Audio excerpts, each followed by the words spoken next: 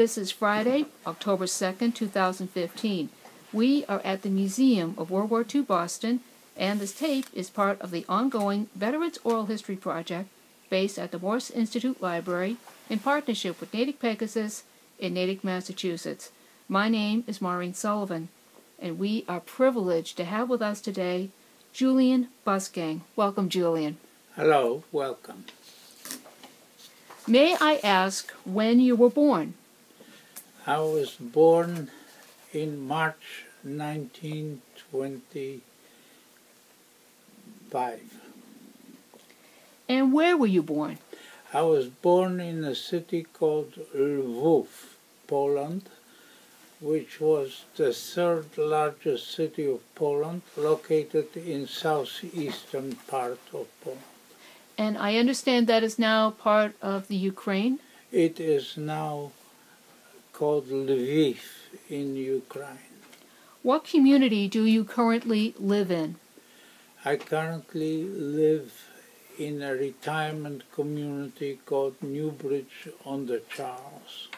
And what town is that in? That's in Dedham, Massachusetts. Your marital status? I am married for 55 years. Congratulations. Do you have children? We have three children, Grandchildren? and we have eight grandchildren. Great grandchildren? None yet. Tell us what it was like growing up in Poland. Well, we were um, um, in a rather well-to-do family in Lviv, uh, assimilated Jewish family, which belonged to the progressive Jewish uh, synagogue. There were a few of them in Poland, in big cities. What did your parents do for a living?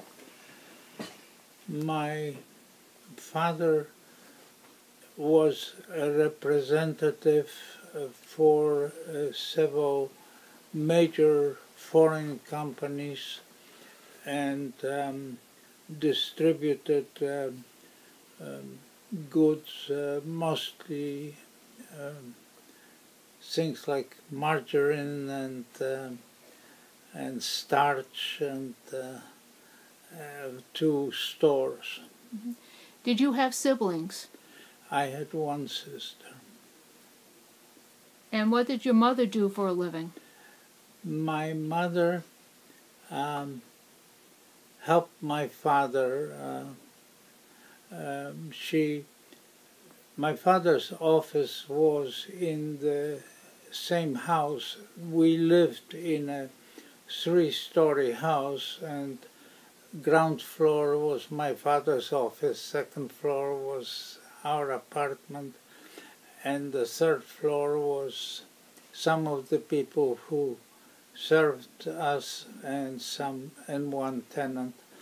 And uh, my mother would spend some of her time in my father's office helping with the books. Did but you when we needed her she would come upstairs and attend to us. But we had people um, we had a cook and we had a maid who um, served us. did you or your family experience any discrimination before the rise of the Nazis? We did experience influence of the National Democratic Party in Poland, which was abbreviated as ND or Endecja or Index, and they many of them were university students and they would um, sometimes um, beat uh, Jewish children on the street, but um, but it was not completely perv- pervasive. It was just last few years after Hitler came to power, there was influence in Poland. Otherwise, we had uh, Polish Christian friends as well. Tell us about the German invasion of Poland in September 1939. German invasion of Poland took place on the 1st of September 1939 and it was um, based on the notion that Germany wanted to connect East Germany, which was part of Germany on the on the Baltic, um, and separated by a corridor from the mainland Germany, and uh, there was free city called Danzig or Gdańsk in Polish, and um, but basically the Germans started moving forward with tanks, and um, and Polish army um, didn't have tanks and um, started retreating, but it fought bravely and a lot of it was cavalry, but it didn't work against the tanks. And when did the Nazis hit your area? Well,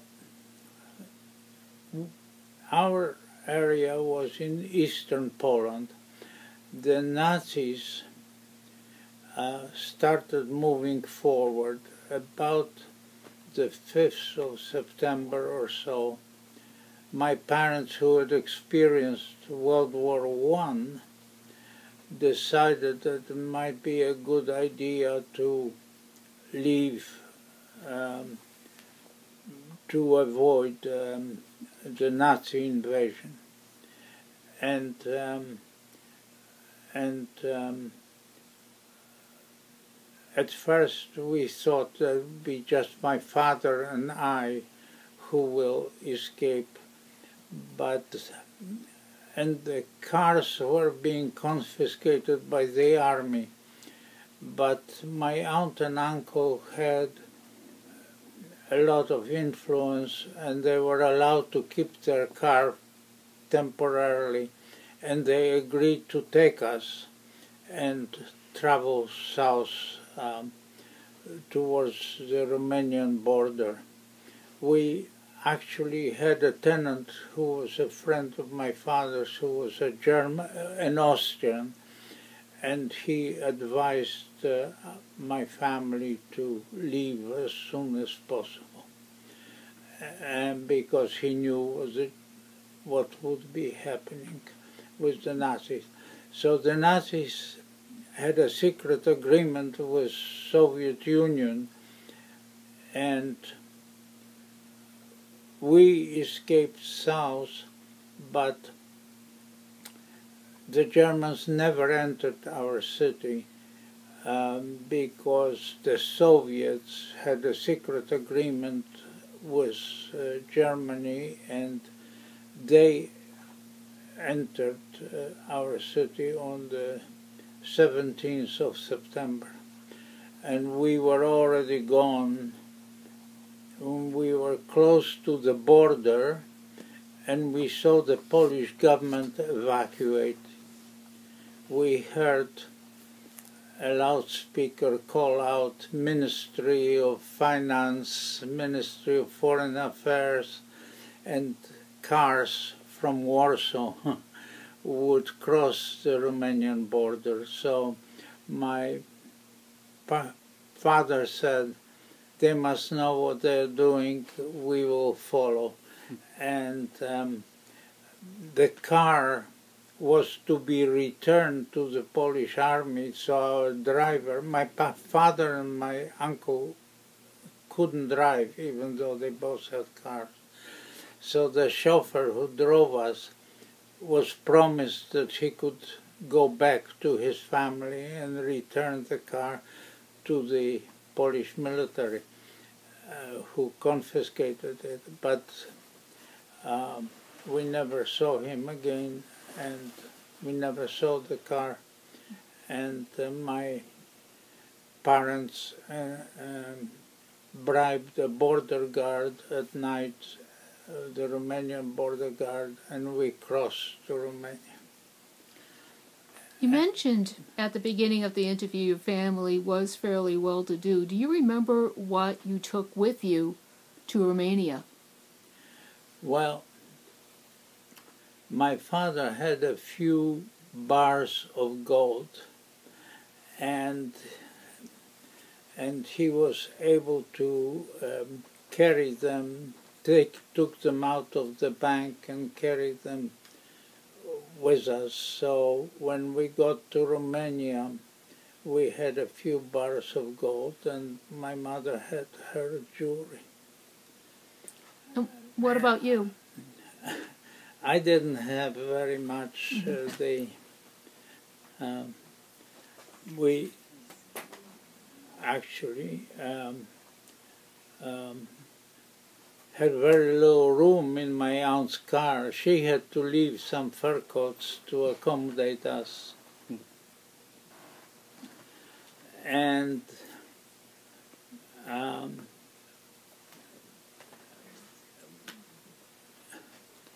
Uh, she wasn't too happy about that. Well, well, she was my mother's older sister and looked after her a little bit. What uh, did you like? Bring clothes, maybe a toy, or We brought one suitcase uh, that we could carry. now you're over in Romania. Do you remember what part of Romania your family settled in? Well, we first went to the city called Cherniovce in Polish and Czernic, I think, in Romania. And then a Jewish family um, let us sleep there overnight because we met somebody uh, who recommended that person and then we took the train to Bucharest. And in Bucharest, we took one room in the cheapest hotel we could find, and and uh, my parents, my sister, and I all slept in this one room, and. Um, and my parents were running from consulate to consulate to see what other visas they can get to get out of Romania.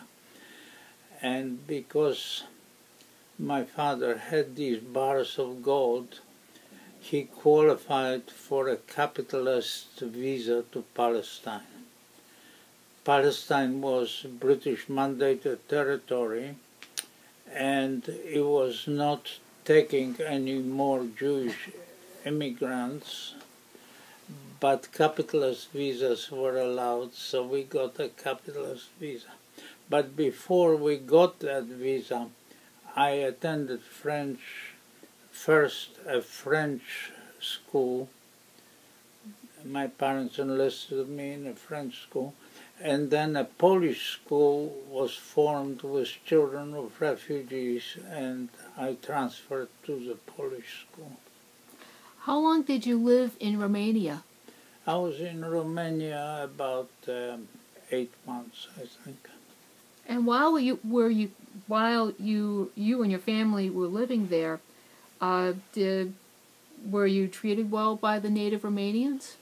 We were treated well, but Romania was falling under German influence, and King Carol resigned and was succeeded by his son, but the sort of German influence was beginning to be felt, so we were very eager to depart.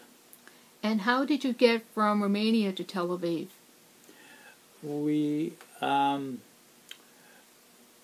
took a ship from um, Constanza, which is a harbor on the Black Sea um, in Romania, and went through the um, and went um, through Istanbul and Athens uh, to Haifa, and I still remember being able to visit Istanbul one day and uh, Athens one day, which influenced me very much, seeing beautiful buildings there.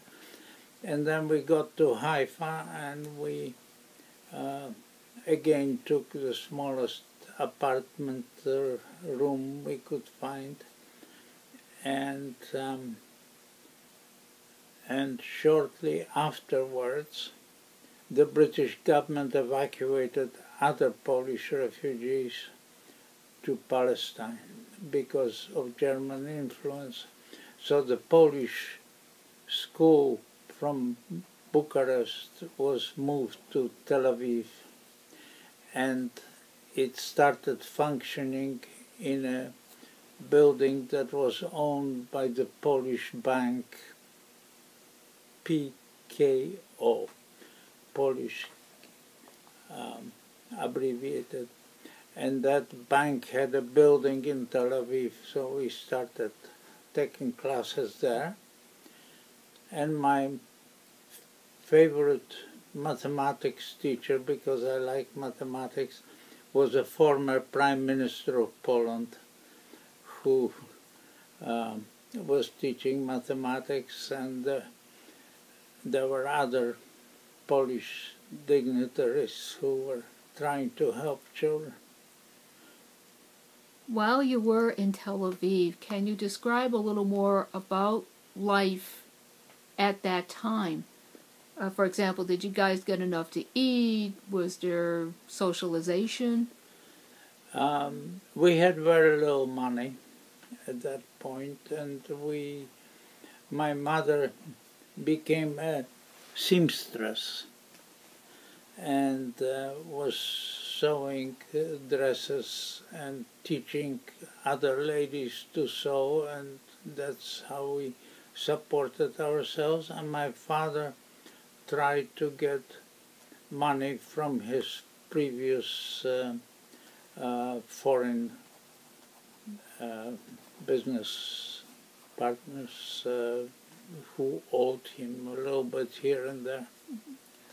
While you were in Tel Aviv, what was the best way you got news about what was happening elsewhere? Um, we had uh, a radio, and that was our best news. There was no television in those days.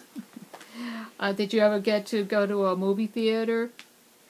Yes, we actually had a comfortable life uh, in Tel Aviv, and the Polish community had a lot of um, people were friendly with each other, and um, and uh, and most of the people were former government officials or wives of former government officials or former military officers and we were all good friends. And uh, when you were in school, you were mentioning your math teacher being a former Polish minister. Uh, were you being kept also aware of what was happening, especially after, say, America entered the war? Well, we had reports from Poland and we knew what was happening to Jews under German occupation and um, and then um, and some people actually were sending money to their relatives in Poland. Um, but in those days, people used telegrams. Uh, there was no internet. so people sent messages by telegram. Did you ever hear accounts of the Warsaw Ghetto? We did hear accounts, yes. And concentration camps? Yes, and and in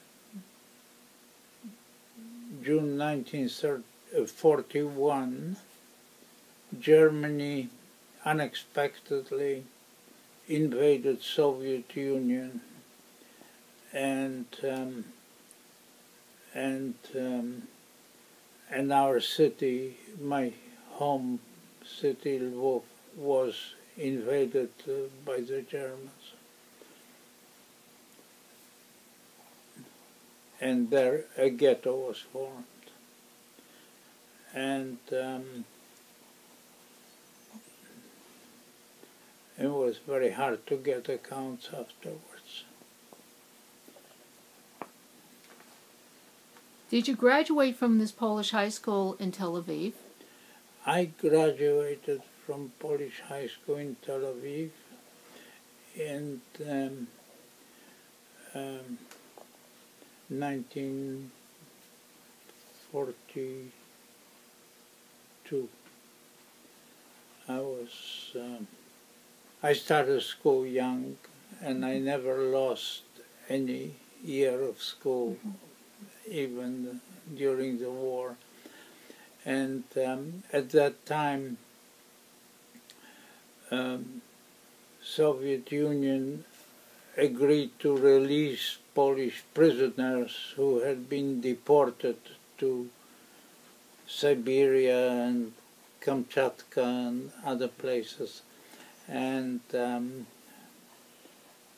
and we started getting refugees from Soviet Union, and then the Polish army was formed in the Soviet Union and allowed to leave um, Soviet Union to go to the Middle East to help the British Army fight uh, Rommel in Africa. And um, and um, most of us who graduated, uh, almost all of us, joined the Polish Army. I had a choice of joining the British Brigade, Jewish Brigade, or or going um, or going into the Jewish underground to fight the British, but I felt it was more important to fight the Nazis, so mm -hmm. I joined the Polish army, and um, our commander was General Władysław Anders, who was Polish and he had been imprisoned, but he was freed um, to allow the army to lead the Polish army, and um, he started as a Protestant because his family had German roots, but he then converted to Roman Catholic. You've just graduated, you have joined the Polish army in Tel Aviv, the Middle East, and I know this is, um, did you have basic training? I had basic training in the desert near the Suez Canal. My first assignment was in light tanks called Valentines, which were Swedish-made tanks, and um, and um, um, after the training, I was um, allowed um, to enter officers' school, and, um, because I was good at mathematics, I was assigned to artillery school. Because artillery requires a little mathematics, and um, the Polish artillery officer school was in Gedera, which is was in Palestine, and um, many of the soldiers were from having been imprisoned in Soviet Union, and a few were my colleagues from Polish high school.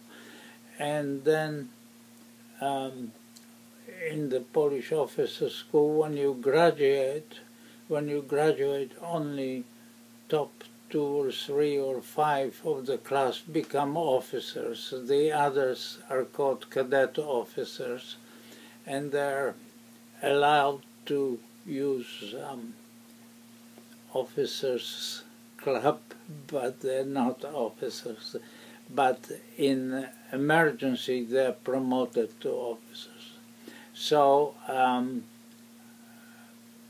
I was assigned to the 5th Division, the 5th Light Anti-Aircraft Artillery, and we had Bofors guns, 40 millimeter Bofors guns, and we were shipped from through Alexandria in Egypt to Italy.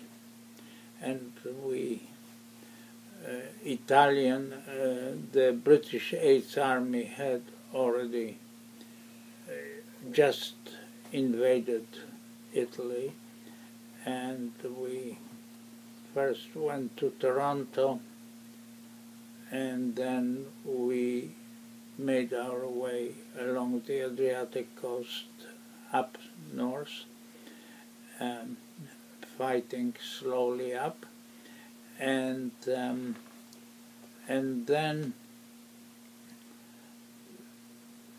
we were shipped on British um, ships, and we actually manned the anti-aircraft artillery on the ships while we were being shipped.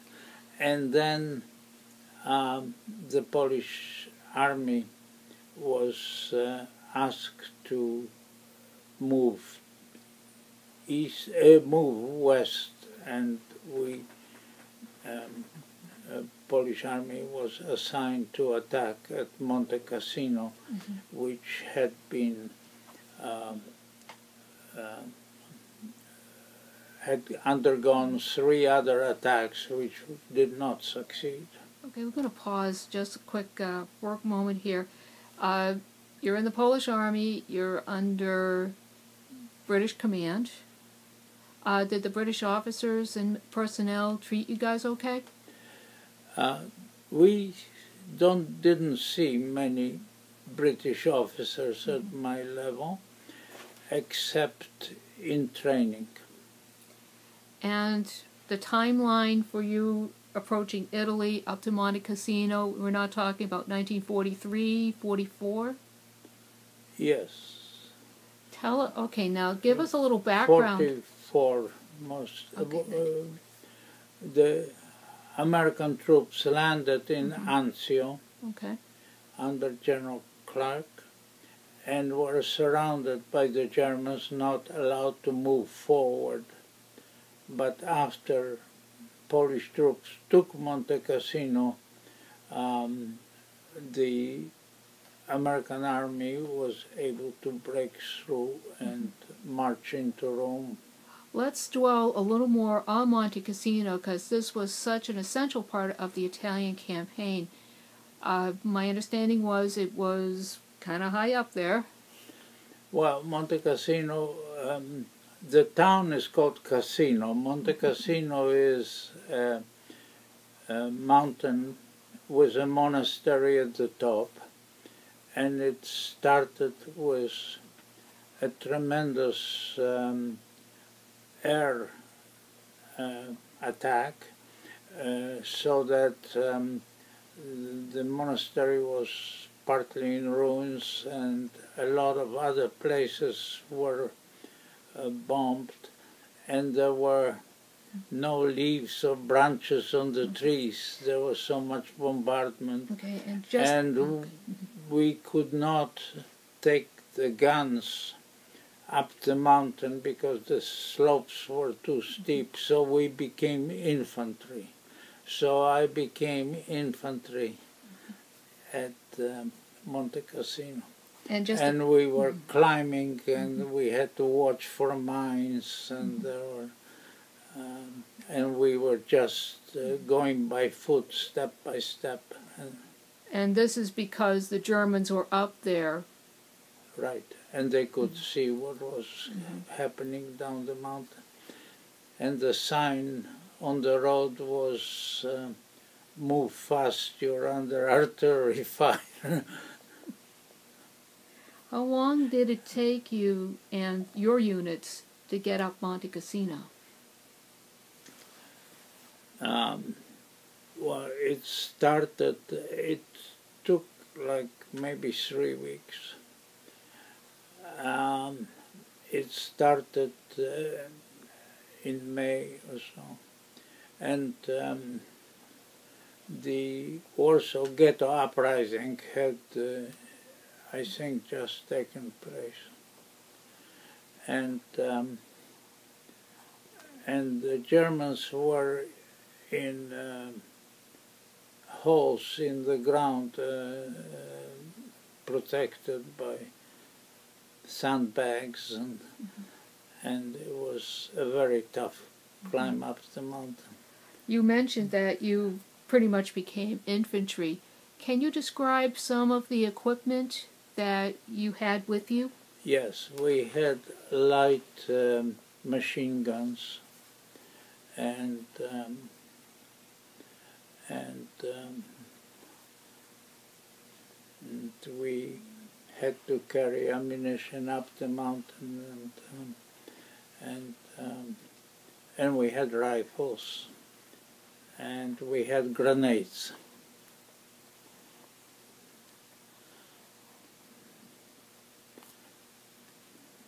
And remember what kind of rifles you were carrying? They were British rifles, I don't remember the make. And this was this like the first time you were seeing real action, like dead bodies and stuff no, like that? No, we saw real action on the Adriatic, actually.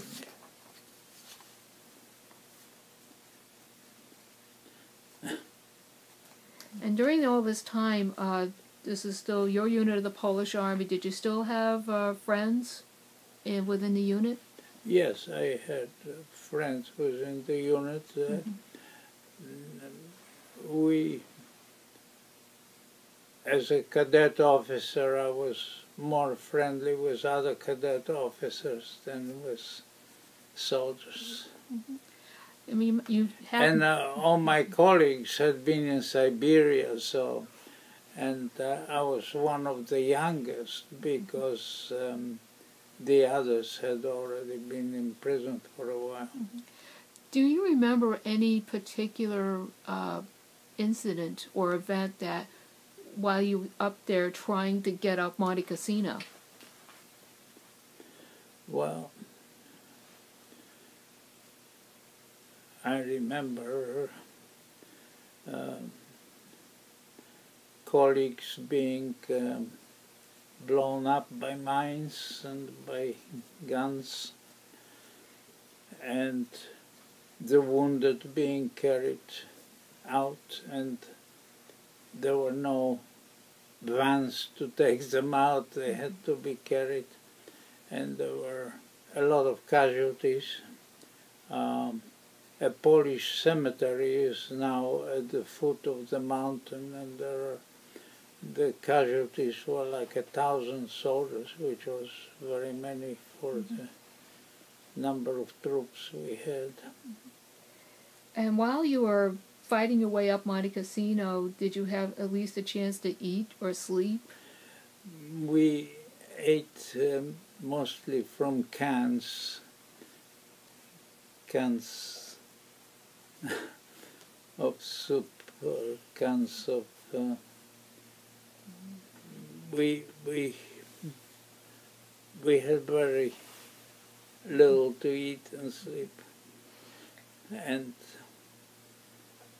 we were given by the British a pack of cigarettes a day which I had never smoked before, but I was so hungry that I started smoking.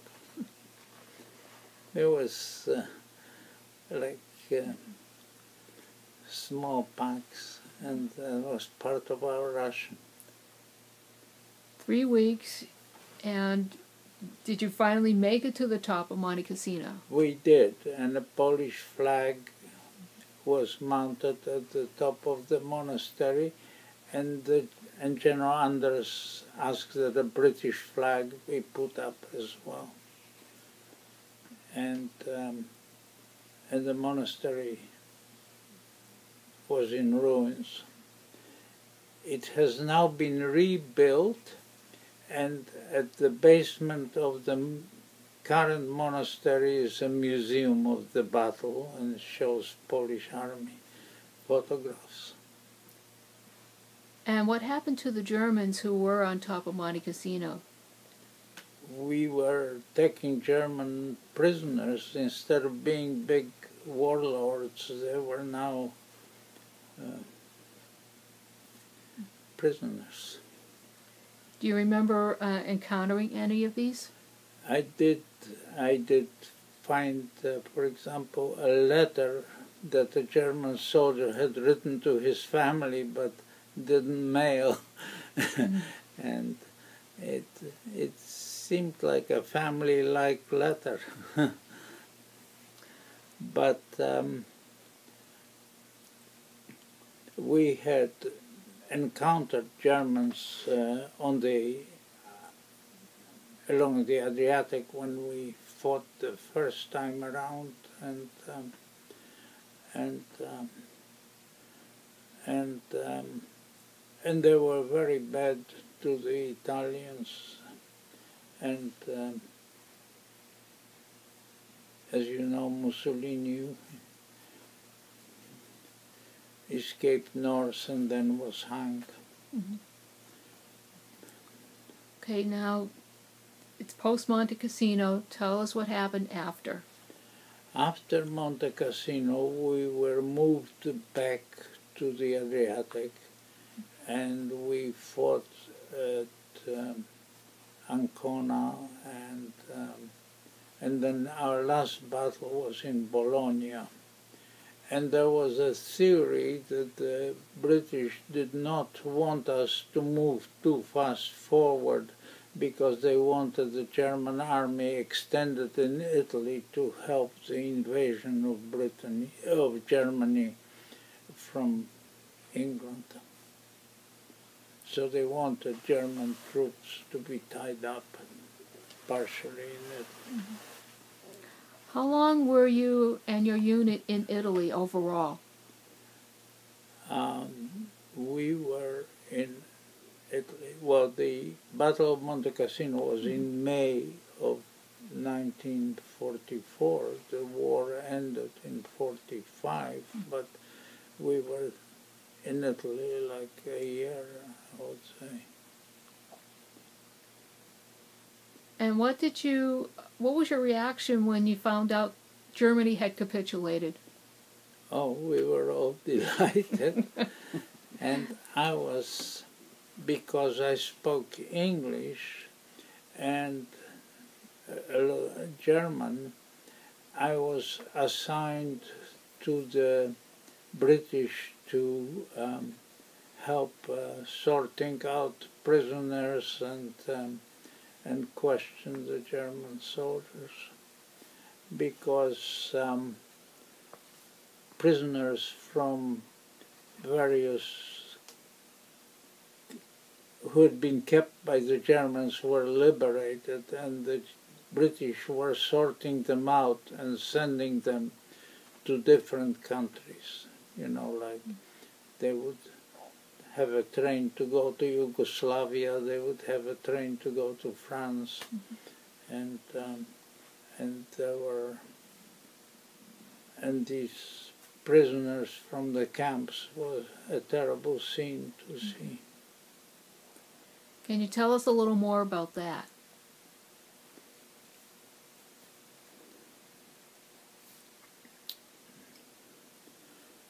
Um,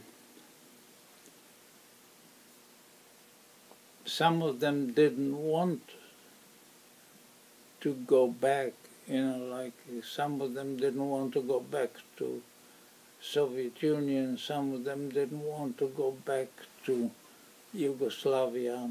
Um, um, it was a very sad scene to to see that.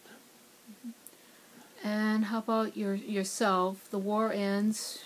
Well, when the war ended, our general said that Polish intelligentsia has been killed, so he decided to send us who had finished uh, high school to Italian universities. So I was sent to um, Turin, Torino, Italy. I want to study engineering. Some other people want to study medicine. They might have gone to a different city.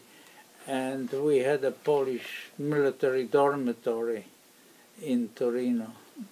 And that's where I started my education, uh, academic. Tell us a little bit more about uh, Torino at war's end. Uh, was it damaged in any way? Torino was not damaged very mm -hmm. much. And um, Fiat was the big factory in the mm-hmm. area. And, um, and um, they were, they started playing soccer like before the war. and how about your family? My family was still in Palestine, but in Torino we were given, when the war ended, um, we were given choice of going back to Poland, which was under communist control at that point, or going to England. So most of us went to England because uh, they had, most of my colleagues had been in Siberia and didn't want to go back under communist control. Only those who had left families and uh, children would go back and some of them would be imprisoned after they got there. But uh, we went to England and we were transferred to something called Polish Resettlement Corps, which was no longer Polish army but British army. And um, and in those days there was mandatory labor in England, so uh, some of the soldiers would be sent to work in mines in England, and the younger ones who were ready for education were given equivalent of GI Bill, so I was sent to London and I could study again, uh, and um, uh, I became an external student of the University of London. The University of London had internal students and external students because some of the external students were in India or in Canada, and um, but we had external students in London, and we had something called Polish University College, so we studied in Polish University College for University of London exams. And, um, and we had a very small stipend, so I shared a room with another fellow from the army. Tell us a little more about life in post-war London. well, uh, London was partly had quite a bit of destruction, but uh, some areas were not uh, destroyed, but some areas had been bombed. And um, we were, some, I happened to know English because I had lived in Palestine and I learned English, but um, but others my colleagues didn't know English, so that was, they had to study English. And, um, and um,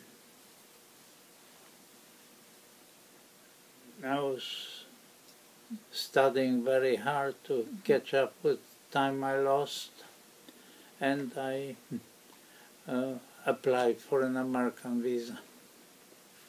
And I was uh, also going to ask uh, whether you and your family had also had to deal with rationing. Um, we did, and my family, to answer your question, the British, when the war started for independence of Israel, the Polish refugees were evacuated from Palestine to England, so I reconnected with my family. And when did you graduate? Well, I had applied for an American visa Okay. when I was still in Italy studying in Torino. And I went for an interview with the American consul in Genoa. I had a friend who suggested I apply to uh, University of Southern California, and I was admitted. So I went for the student visa and the consul asked me, Do you want to stay in America? I said, Of course.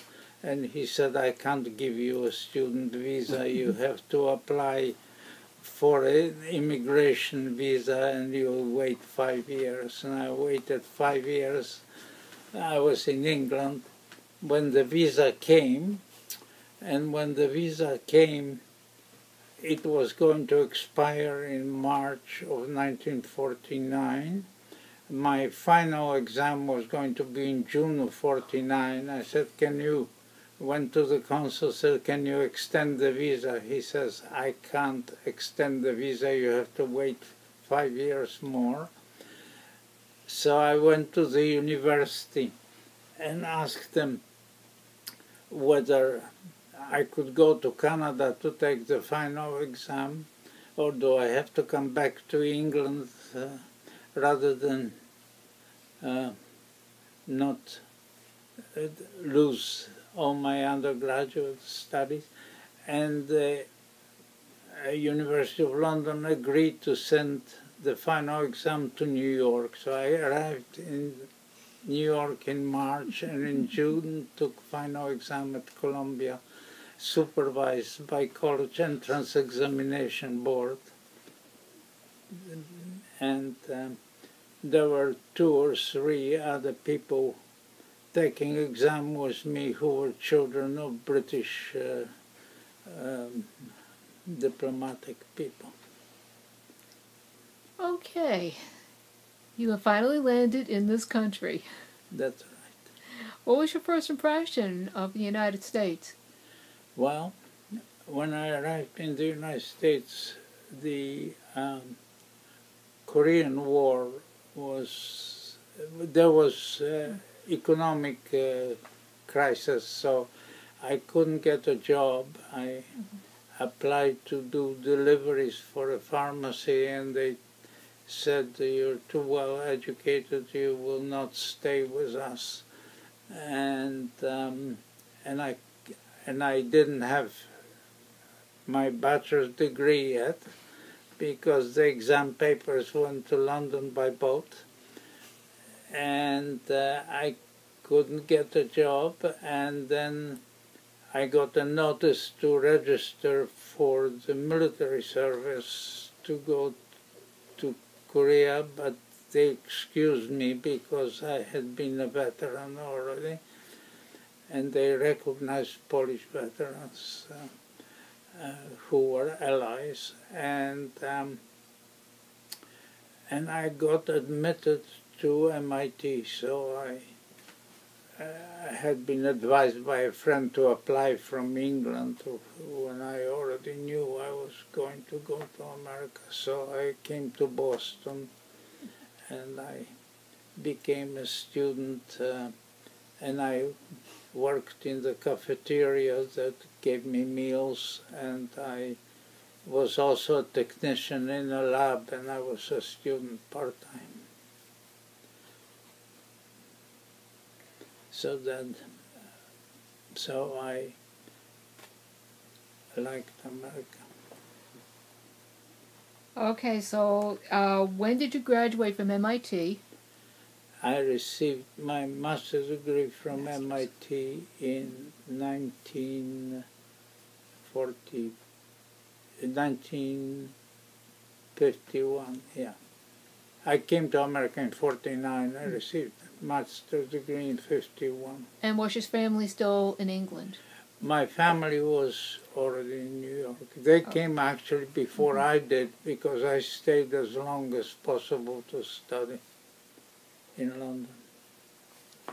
And once your family was in New York, did your parents uh, uh, work for a living?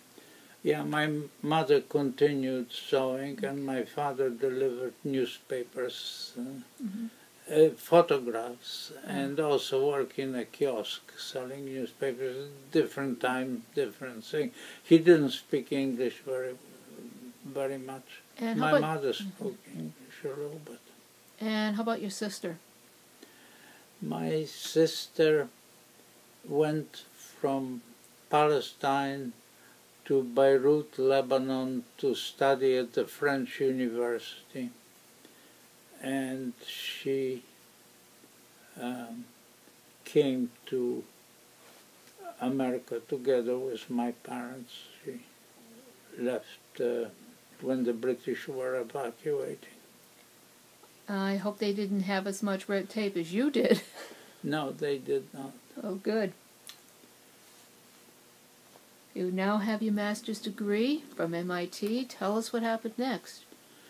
What happened next, I started working at MIT Lincoln Laboratory.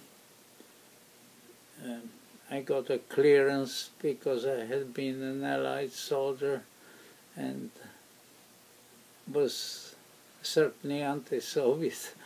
And and then I um, um, started studying part-time at Harvard, and I be, got uh, ended up going full-time and got a PhD at Harvard, and I was consultant to Lincoln Laboratory, which was helping me finance my education.